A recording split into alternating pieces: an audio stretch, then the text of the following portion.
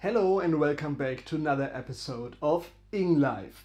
Hallo und willkommen zurück. Heute bei IngLife wollen wir uns der Frage widmen, gibt es ein Formel U in der englischen Sprache? Was bedeutet das? Das Formel U ist das deutsche Sie, das großgeschriebene.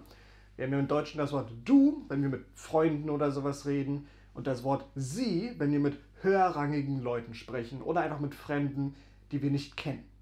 Im Englischen haben wir natürlich das Problem, alles ist you. How are you? Can you help me? Und so weiter.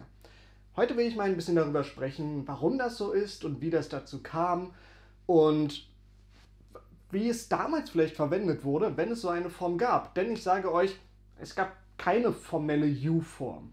Allerdings gab es eine andere Form, die ja eine ähnliche äh, Stellung hatte wie das Sie und das Du im Deutschen heutigen. Wir hatten damals natürlich das Wort You. Kennen wir von heute, sagen wir jeden Tag, wenn wir Englisch sprechen, you, you, you, you. Nun, das Wort gab es auch damals schon, war eine veränderte Form oder die Objektform, soweit ich gerade weiß, von ye, was natürlich heutzutage nicht mehr verwendet wird. Heutzutage ist alles you. Deswegen, um das ein bisschen einfacher zu machen, vergessen wir das hier mal ganz schnell und bewegen uns trotzdem nochmal ins Old English und Middle English, also alte Englischform, wo es auch noch das Wort though gab.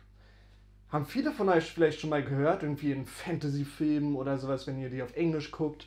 Dann hört ihr manchmal das though, wird allerdings auch sehr oft falsch verwendet, sodass man als Deutscher vielleicht denkt, okay, das war mal die Form für sie, wenn man es im Deutschen verwenden würde. War nicht der Fall. Es war eigentlich eher das Gegenteil.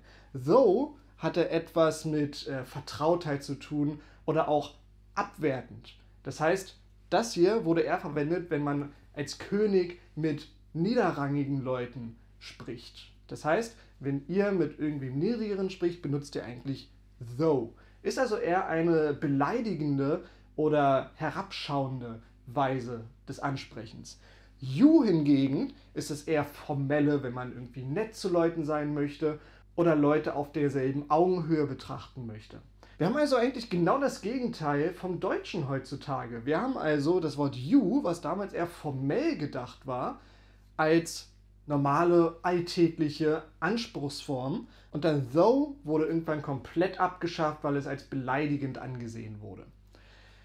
Wir haben also nicht mehr im Englischen das Deutsche wie du und sie, sondern wir hatten die alte Form von sie, wenn man so möchte, das you und die Form von du, die wir im Deutschen haben, war das though.